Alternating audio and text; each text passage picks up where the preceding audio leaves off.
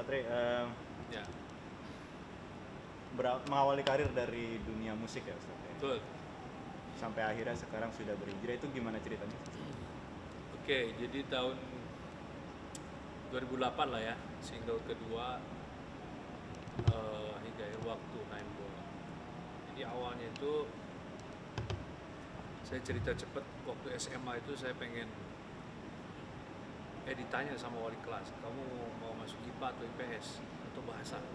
Nah di situlah saya berpikir tentang sukses. Gitu.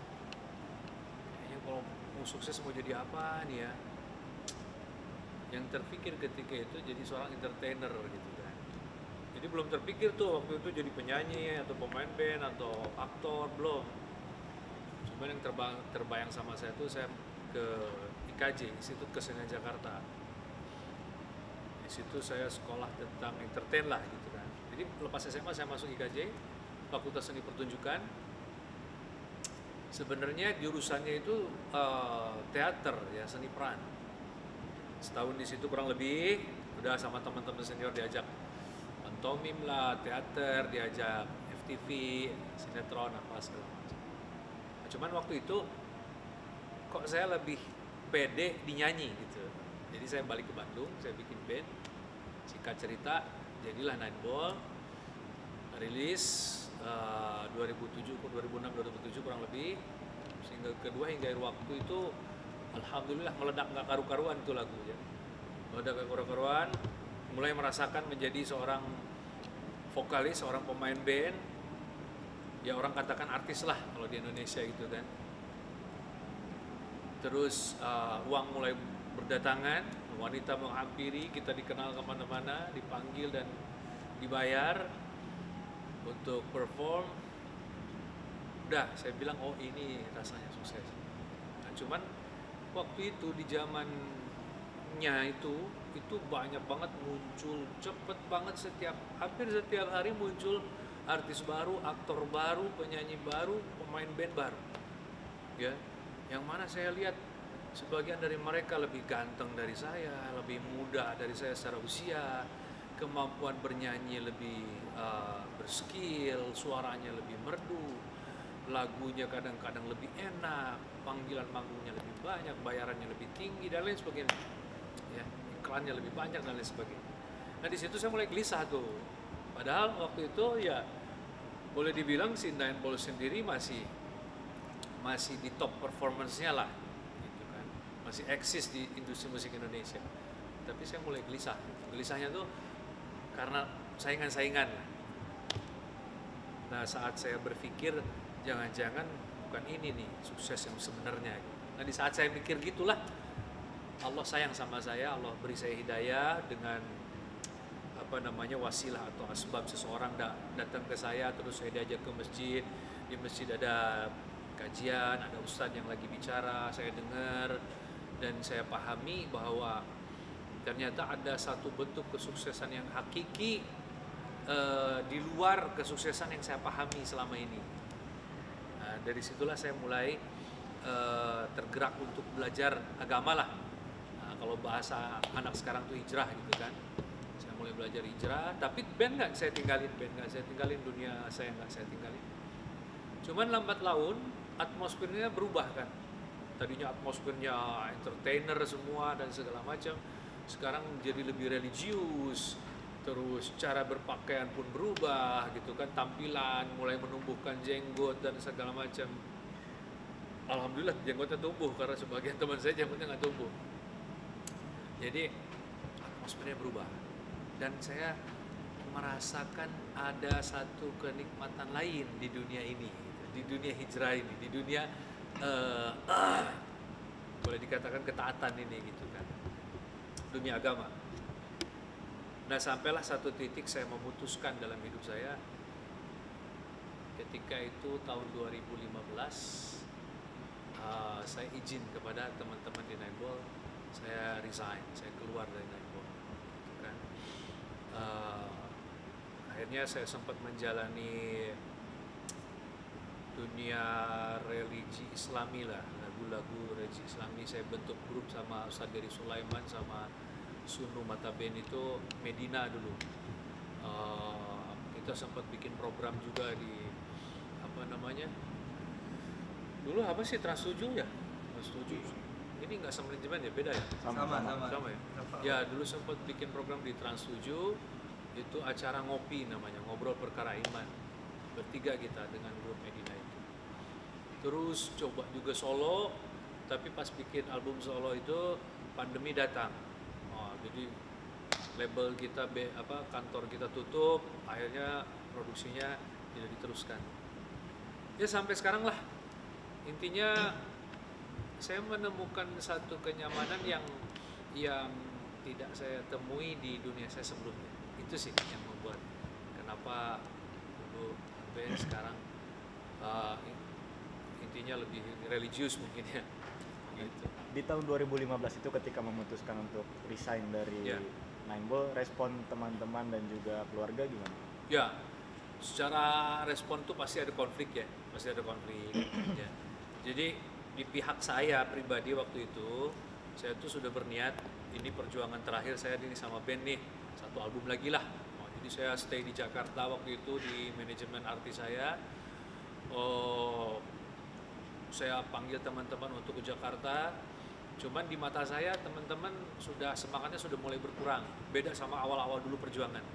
Nah itu mem- mem- membuat saya berpikir wah ini kalau diteruskan akan melelahkan, akan memakan waktu yang banyak. Sementara saya waktu itu sudah mulai berkeluarga, saya sudah ada anak waktu itu, jadi sudah mulai bicara efektivitas waktu dan lain sebagainya. Akhirnya dengan pertimbangan bercampur tuh ada ada nafsu juga gitu kan. Aduh gimana nih si anak-anak gini-gini. Akhirnya saya putuskan saya resign, saya keluar. gitu kan. Nah dari situ saya balik ke Bandung, lebih banyak aktivitas di Bandung dan lebih banyak aktivitas eh, mengajinya gitu. Karena saya kan bukan eh, lulusan pesantren, saya nggak sempat mondok, maka saya sadar diri di waktu yang Allah berikan kesempatan ini eh, kebetulan Allah berikan saya seorang guru, kebetulan seorang ulama yang mau mengajarkan saya.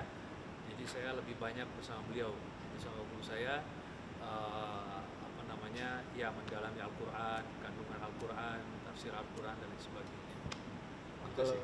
keluarga sendiri gimana kan responnya kan eh, Ya. dari entertain bisa kita bilang secara pemasukan pasti akan berbeda Ya, juga ya. gitu. yang mana pasti berpengaruh ke keluarga itu Ya. gimana waktu resign Ya keluarga ah, normal lah, normalnya manusia ya.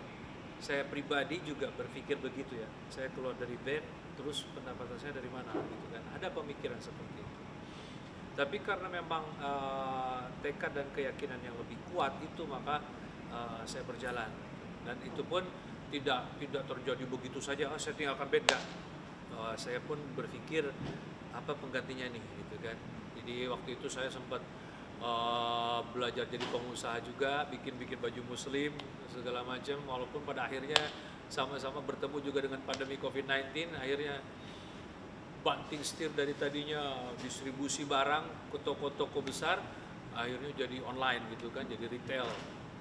Biasanya kita kirim barang ke bal-balan gitu kan, pot, berapa ratus potong, berapa eh, ribu potong sekarang jadi satu-satu retail. Itu juga membuat apa ya?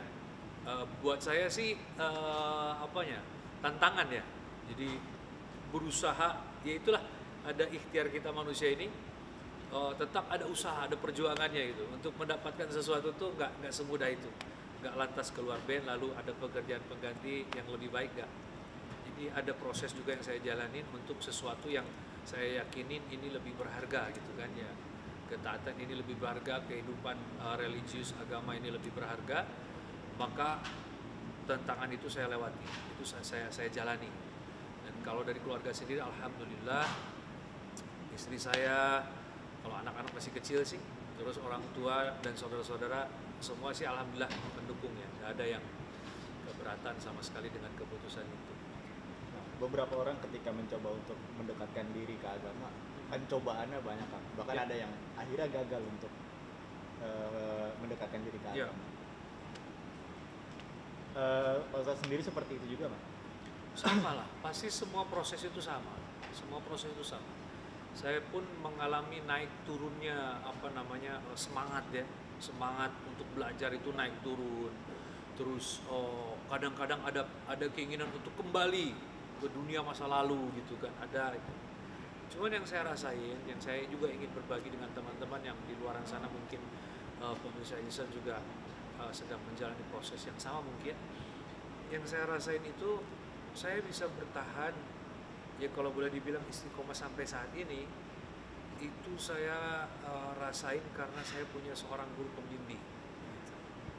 Jadi saya sempat membayangkan kalau tidak ada yang membimbing saya, tidak ada guru di samping saya, saya yakin saya tidak akan kuat. Dengan ujian, cobaan, kehidupan, ya, this is life. Apa namanya? Kadang siang, kadang malam, kadang punya uang, kadang nggak punya uang, kadang ada job, kadang nggak ada job. Uh, dengan istri di rumah gitu kan, kadang adem ayem, kadang berantem. Itu suasana itu tidak akan pernah hilang karena memang dunia ini tempat ujian gitu kan. Kita akan selalu diuji-uji.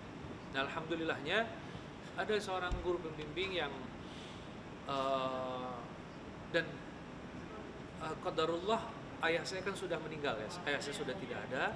Jadi saya tuh berasa sama guru saya sama kiai saya itu berasa beliau itu adalah bapak saya, pengganti bapak gitu. Jadi kalau ada apa-apa saya selalu cerita kepada beliau ya kesulitan apa dalam hidup apa itu saya cerita saya tanya bagaimana saya apa yang harus saya lakukan jadi itulah yang menjadi satu kekuatan untuk kita bisa bertahan momen apa tuh Pak yang ketika ada rasa-rasa pengen kembali ke dunia ya. tentunya pas apa namanya kita ini manusia ini uh, manusia kita umumnya ya di akhir zaman ini sangat mudah terkesan suasana dan keadaan. Apa yang kita lihat apa yang kita sering dengar itu pasti akan mempengaruhi hati kita, keinginan kita, nafsu kita. Jadi kalau saya lihat oh, lagu yang lagi viral, penyanyi yang lagi viral gitu ya, atau aktor yang aktingnya bagus, filmnya bagus, itu fitrah sekali. Saya pengen gitu. Misalkan gini, ada lagu bagus gitu, ini lagu kok bisa viral banget ya, sampai laku banget. Itu hati tuh lu bisa loh bikin yang seperti itu gitu tuh. Ada tuh. Bikin nggak ya bikin nggak ya bikin. Ah nggak. Kayak gitu.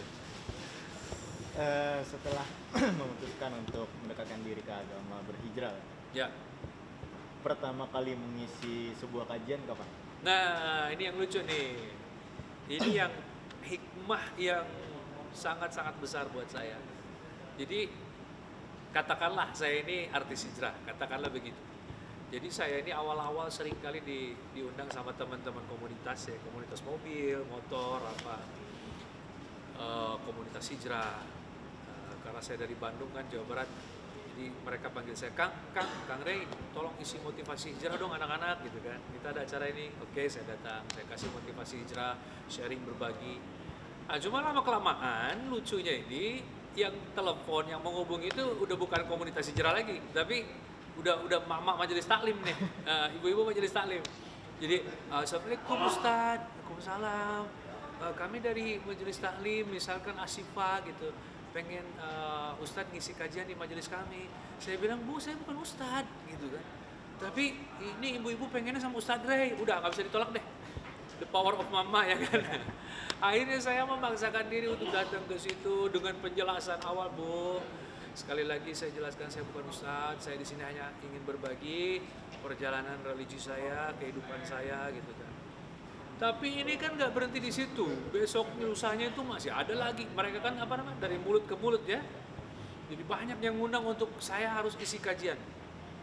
Akhirnya uh, ya guru saya pun melihat suasana itu.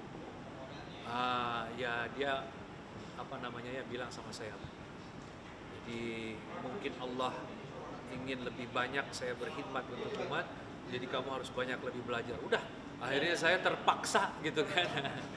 Dipaksa untuk kebaikan. Akhirnya saya uh, meluangkan waktu untuk uh, belajar lagi belajar lagi belajar lagi. Karena kalau sudah jatuhnya ke kajian ini sudah bukan main-main ya. Udah bukan sharing lagi tapi harus sesuatu yang benar-benar dari Al-Quran dan Sunnah yang kita sampaikan gitu. ataupun dari para ulama dari guru kita. Jadi akhirnya ya itulah kejadian yang menurut saya lucu sekaligus saya bersyukur. Saya dipaksa untuk kasarnya nih saya dipaksa untuk jadi ustadz gitu dengan suasana hijrah saya ini. Akhirnya ya udah memaksa saya untuk kamu harus belajar. Gitu. kan udah biasa tampil di atas panggung ya ya. Nah ketika pertama kali mengisi kajian masih deg-degan lagi apa gimana? Uh, deg-degannya sih lain ya. Deg-degannya itu bukan karena tampil tapi yang kita bawa ini adalah amanah agama amanah agama ini nggak bisa main-main. Ini agama agama ini sesuatu yang agung sesuatu yang mulia dibawa oleh manusia termulia gitu kan Sayyidul Anbiya bagi Nabi Muhammad SAW jadi itu yang membuat saya eh, kadang-kadang uh, takut salah gitu kan. Ada takut uh, omongan saya yang bercampur dengan nafsu gitu kan. Itu sih yang yang yang yang awal-awal membuat saya agak-agak segan ya untuk bicara. Tapi kalau untuk tampil ya ya memang saya memang biasa di panggung gitu kan jadi itu merupakan hikmah berikutnya yang saya rasain oh mungkin ini hikmahnya Allah menjadikan saya seorang entertainer sekarang saya bisa menguasai audiens sekarang saya bisa menyentuh hati-hati mereka namun dengan hal yang lain yang lebih positif gitu tapi masih banyak orang yang mengenal Kang ini sebagai vokalis kan? Apa udah ustadz nih sekarang? Iya kayaknya mungkin yang di tahun-tahun segitu ya. Yang di tahun-tahun segitu 2008 itu mereka mungkin lagi masa-masa zaman SMP, SMA atau kuliah.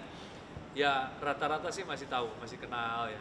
Apalagi kalau saya sudah apa namanya diketahui udah disuruh nyanyi gitu kan biasanya sebelum kajian kalau bukan di masjid itu itu mau tidak mau mereka pengen dengar saya nyanyi gitu ya udah saya pun nggak apa namanya tidak tidak idealis ya walaupun sebenarnya saya udah pengennya berhenti nyanyi itu bukan apa-apa ya udah, udah capek aja gitu kan apalagi kalau udah nyanyi yang mainstream itu saya bingung jogetnya mesti gimana gitu. Jadi kalau lagu-lagu religi saya sering banget bawain lagu almarhum Ustaz Jeffrey Al Bukhari itu beda dari surga itu karena saya suka banget lagu itu liriknya luar biasa. Dan saya selalu setiap mau membawakan itu saya selalu mengajak uh, jemaah untuk mari sama-sama doakan Ustaz Jeffrey agar diterima dakwah semasa hidupnya sama Allah gitu kan. Karena beliau sudah menjadi inspirasi yang luar biasa ya khususnya buat saya juga. Jadi kalau nyanyi-nyanyi lagu religi Islami nah baru saya merasa nyaman